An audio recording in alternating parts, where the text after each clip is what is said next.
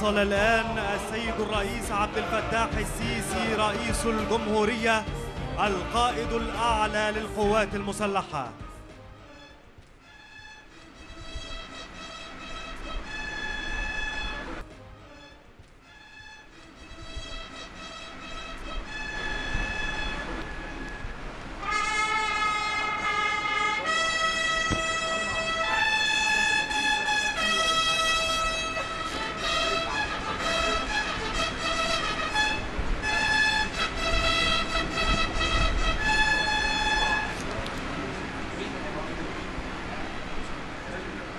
Thank you.